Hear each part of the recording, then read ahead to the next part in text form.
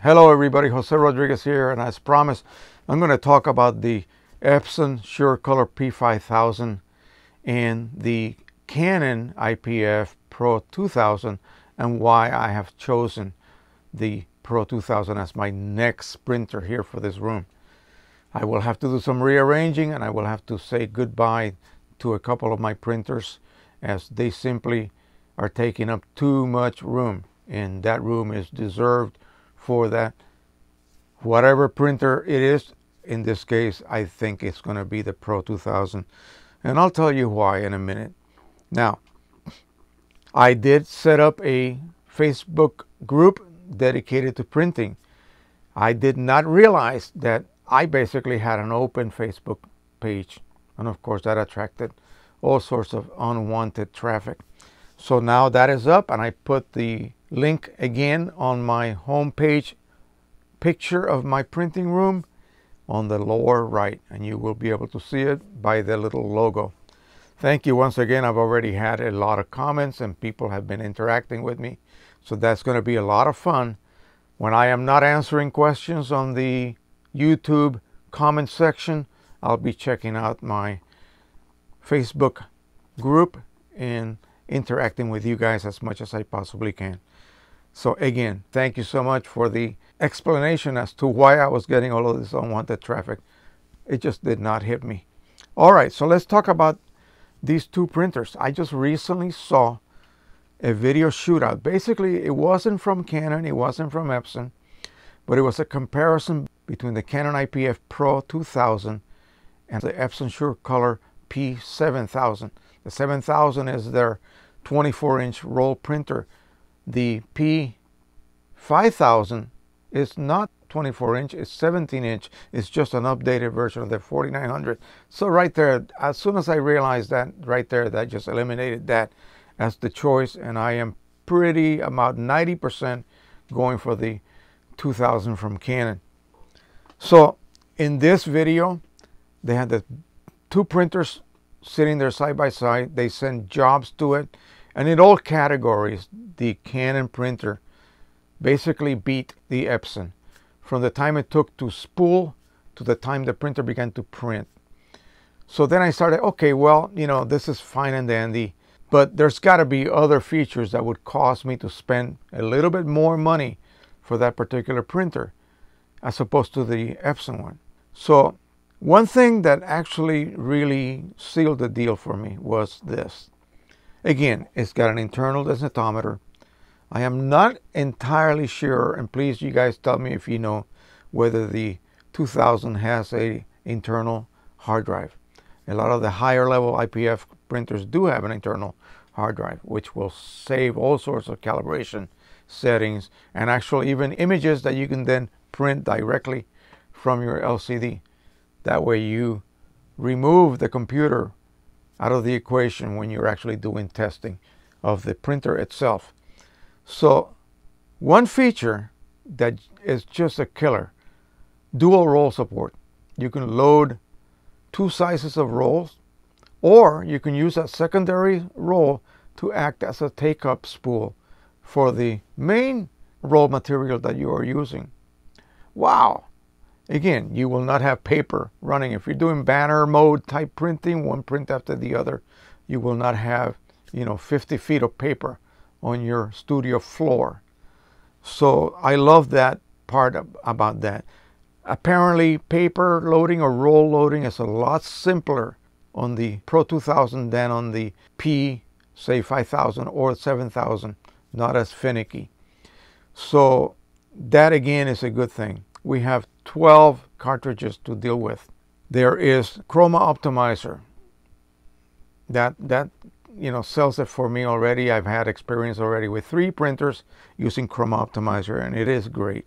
The Epson has orange and I think red also. And that helps around that range of tones. What happens often is that instead of mixing yellow and magenta to make orange. As soon as you reach that particular level of orange, the orange ink begins to be used And of course, as you get closer to the reds, then the red ink is triggered to use, and that creates a very wide gamut in that region of the spectrum. You're using pure colors rather than mixing yellow magenta. Now, on the Pro 1 and the higher level, we have red as well, and it is a special red. It is a red that third-party providers have not been able to crack completely it is a fantastic red. And so your results in that region are fantastic. Can't beat it. The Pro 1000, Pro 2000 and higher also uses blue. And that helps tremendously. And I've demonstrated these ridiculous blues that I've been able to get that the Pro 1 cannot get. Okay. So that is all fine and dandy. Now, one thing, the Epson printers, when a cartridge runs empty, that means it is declared empty, your printer stops printing. Some printers allow you to replace that cartridge and continue printing. But you have to stop what you're doing, you have to go through the motions. And in some printers requires quite a few steps to actually open that ink compartment remove that cartridge and insert a new one. And then you know you have to tell it to accept it and continue printing and so on. Some cases you just cannot print. You have to start all over again. The Canon Pro 1000 and higher I believe this one allows you to do that you can replace a empty cartridge on the fly while the printer is still printing and that is because of the secondary large containers or reservoirs of ink that live internally in the printer. There is way enough ink in there to allow you to continue printing. You get a bit of time for you to prepare your next cartridge. You open up, replace, and pop it back in, close the lid, and continue printing, never stopping. Another Pro 1000, you absolutely can do that. I have not tested that because I don't have an empty card yet. So we will see. I'll test that with that as well. And that was the, the deal sealing feature for me. One of the many actually, but that really uh, impressed me. And so again, of course, you also have the ability on the Pro 2000 and up to download special configuration files from companies that sell third-party papers. They give you the profile and they also give you the configuration file which you can then store in the printer itself. And so that includes everything. That includes all the parameters. So now you don't have to choose a generic paper type like luster, like glossy. You actually have an actual configuration paper type in your printer. So that's going to be great. And uh, again, at the rate that we are going, I should be able to reach that probably maybe by Christmas time, I hope, and catch a good Christmas sale on a Pro 2000. We'll see. All right, that is it. I did not really delve too much into any other details. I just very basically glossed over. I looked at it and uh, read both reviews from Keith Cooper of Outback. And yeah, that's it. The Canon Pro 2000 is the winner. All right. If you guys got any comments, any suggestions, please let me know below as always, and I'll be here to answer them or at least get into a slight argument. If it requires that, I hope that I don't make anybody mad for choosing one printer over another.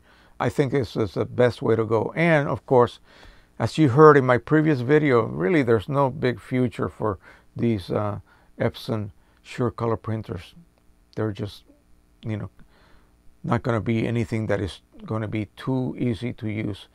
So far for this one, it's going to be a piece of cake. And I hope the Pro 2000 proves to be the same. And so hopefully they will be providing the world with some uh, single-use chips for that as well. I suspect that the cartridges use the same system for the valve body and also as easy to refill as these will be. Before I go, I want to show you what a IPF 5000 cartridge looks like.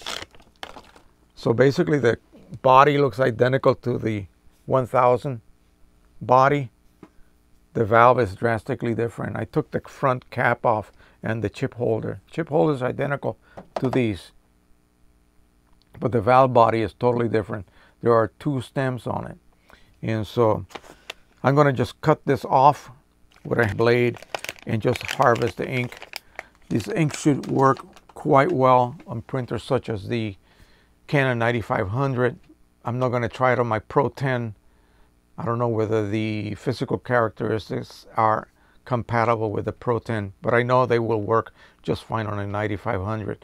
Especially the generic colors, your blacks, your grays, your you know red and yellows and, and so on. So that is it. Thank you so much again. Please subscribe as always, share with the world, everyone, and like. Watch the whole video, please. Give me those minutes watch. That's what they are looking at now. Very important. So I appreciate if you can sit and watch the whole video and try not to skip too much because that really destroys the so-called metric that YouTube is looking at now and that is watch time. So thank you again. Happy printing everyone. Bye-bye.